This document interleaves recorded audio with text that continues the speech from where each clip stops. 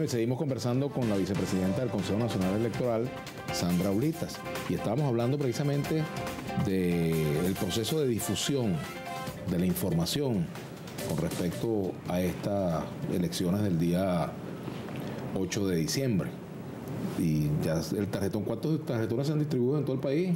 sí, bueno, no, las boletas no válidas se, se realizaron por cantidades, porque recuerda, como te decía hace un instante, son 726 circunscripciones distintas. Estamos hablando de las 335 alcaldías más tanto la alcaldía metropolitana en el caso del distrito capital como la del distrito Alto Apure en el caso de Apure. Entonces, eso significa que son configuraciones diferentes, 726 configuraciones diferentes que van a significar distinta cantidad de números de votos, entre 3 los que menos eligen hasta 12 los que más eligen. Este, eso requiere por parte del Consejo Nacional Electoral, por supuesto, una amplia difusión, que es en lo que estamos trabajando con estos mil puntos de feria que se están distribuyendo a nivel nacional, con algunas herramientas como la que se tiene en el portal oficial del Consejo Nacional Electoral, que tú colocas tu cédula de identidad en el renglón del registro y allí te va a aparecer en, en una opción cuál es el tipo de boleta electoral que tú vas a tener en tu mesa, en tu, en tu centro de votación. Eso te permite familiarizarte, puedes imprimirla si quieres o en todo caso familiarizarte. Se puede llevar chuleta, pues. Exactamente, puedes tener tu, no me gusta llamarlo chuleta por razones pedagógicas, claro, pero, así tu guía, tu ayuda pues, para, para, popularmente hablando. Para, para poder, eh, y eso es absolutamente recomendable además, para que las electoras y los electores hayan hecho su selección, su decisión bien pensada, cuáles son los candidatos, candidatas de su preferencia, y cuando lleguen ya a la mesa de votación, pues simplemente hagan su selección. Como si, una persona quiere votar nulo, que no le gusta ningún candidato, ¿cómo hace? Mira, este, no, sencillamente, bueno, este, el propio sistema le da la opción, al no hacer ninguna selección y dar la opción votar, la máquina le va a preguntar, usted no ha hecho selección, si está seguro de ello, le da a votar y imprime el comprobante con ninguna selección y listo. Sin embargo, el voto con la selección de candidatos o candidatas de su preferencia se puede hacer de dos maneras, como lo hemos dicho, lo puedes hacer por la opción de cada uno de los cargos, recuerda que hay en los alcaldes o alcaldesas, los concejales, concejalas listas y los concejales, concejalas nominales, dependiendo de, las circunscripciones si son uninominales o plurinominales. Este, y, o haciendo la opción seleccionar todo. Ambas son perfectamente válidas, depende de la decisión del elector y de cómo las opciones políticas hagan también su, difusión.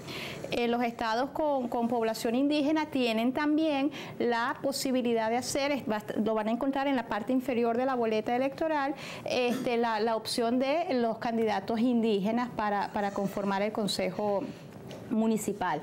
Es bueno mencionar que lo hicimos en esta oportunidad, no traje honestamente ninguna boleta ahorita que, tuviese la selección, pero lo pueden verificar en la página, está un poco más grande para hacerlo más notorio, para que los electores y electoras puedan hacer también su selección del candidato indígena en los estados de las circunscripciones que corresponde. Hay alguna una pregunta aquí que me llama la atención de Carpathian Lord. ¿Por qué el 99% de los técnicos y operadores salen de las filas del Partido Socialista Unido de Venezuela siendo captados por las fuerzas políticas parroquiales? ¿Eso es cierto?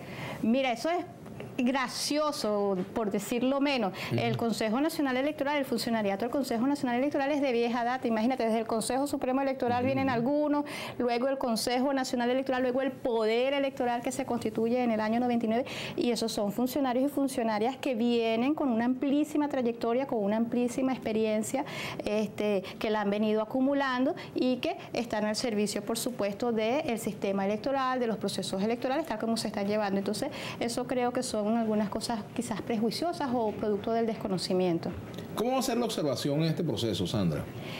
Mira, nosotros tenemos este, el esquema de los acompañantes internacionales que, como tú sabes, eh, regularmente, digamos, son invitados, vienen para los distintos procesos electorales. En esta oportunidad vamos a estar también circulando invitaciones, tanto eh, a, las autoridades electorales, este, organismos, autoridades electorales de otros países, este, alguna comisión técnica seguramente de la UNASUR. Recuerda que tenemos conformado el Consejo Electoral de la UNASUR, que ha estado acompañando distintos procesos electorales, entre ellos el los últimos procesos que se han dado acá en Venezuela, y también este, la UNIORE, este, la Federación Rusa. O sea, estamos haciendo, digamos, además de los, los, profesionales, los técnicos, los intelectuales que regularmente invitan, invitamos, seguramente esta va a ser un poco más pequeña que, otros, que, en otros casos porque las elecciones municipales, pues, regionales, locales, eh, connotan quizá un poco menor cuantía en cuanto a estos acompañantes. Pero, ¿Y observadores nacionales?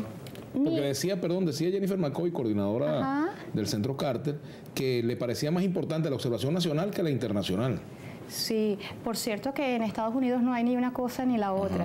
Este, pero sí, la observación nacional además es una tradición en Venezuela. Nosotros hemos venido trabajando ya, por cierto, ya algunas de las organizaciones que tradicionalmente han hecho observación nacional han cumplido con el requisito de la solicitud frente al Consejo Nacional Electoral para su participación. Eso seguramente va a ser evaluado en los próximos días y se dará a conocer, pero eso es parte, digamos, de la dinámica. Nosotros hemos incluso acogido muchas veces este, los señalamientos, las sugerencias, las observaciones que nos hacen. Lo que sí es muy importante es que la observación nacional, en principio, no se inviste de funcionario electoral, eso está claramente establecido en la norma, no pueden tener parcialidad política alguna, no pueden hacer pronunciamientos ni declaraciones a favor o en contra de ninguna de las opciones candidaturales. y si ven una, irregularidad, por ejemplo. Tienen que comunicarse con el Consejo, Nacional, Electoral, y hacerla las nacionales y las internacionales. Claro, no, pueden hacer declaraciones públicas hasta que no haya terminado el acto electoral. Pero, por ejemplo, si un observador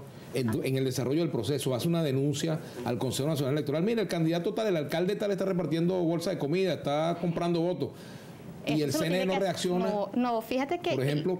E-, ese observador ya no tiene el derecho de denunciarlo. En principio eso nunca ha sucedido. Este, y lo que sucede y sobre lo cual nosotros tuvimos que hacer llamados de atención importantes, incluso suspender la acreditación en una ocasión a, una organización que ya no existe, que se llamaba Ojo Electoral, este, es que agarran y se adelantan hacen aseveraciones ante los medios de comunicación, hacen señalamientos además con marcadas parcialidad política antes de hacer cualquier este, pronunciamiento, información, acotación al Consejo Nacional o sea, tú dices que nunca se ha producido que algún alcalde, algún funcionario público haya hecho campaña dentro, el día de las elecciones. ¿Eso nunca lo han visto ustedes? No, nunca hemos recibido una, observa, una acotación por parte de un observador nacional que haya sido desatendida. Ah, esa es, otra cosa. Esa es otra cosa. ¿Tenemos que hacer la pausa? Vamos a la pausa. Ah, no, nos queda un minuto, entonces vamos a leer algunos mensajes aquí también, porque la participación de nuestra audiencia. Aquí hay una pregunta que es interesante, fíjate, Judey Luis Cáceres, para aclararlo, ¿no? ¿Los extranjeros con visa de transeúnte y menos de 10 años del país pueden votar en estas elecciones?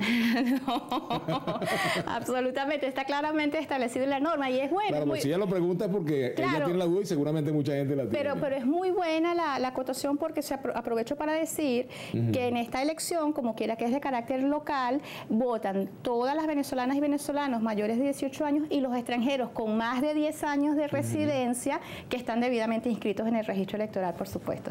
Mira, ¿qué ha pasado? Tenemos que hacer la pausa. Al retorno te voy a, quiero que me responda la siguiente pregunta. ¿Qué pasó con algunas, algunas eh, traslados que se hicieron de candidatos extemporáneamente o que se notificaron en, en último momento de algunos candidatos del Partido Socialista Unido de Venezuela en algunas regiones ¿Te lo respondo ahorita o Vamos a la pausa y, y ya venimos, lo responderás.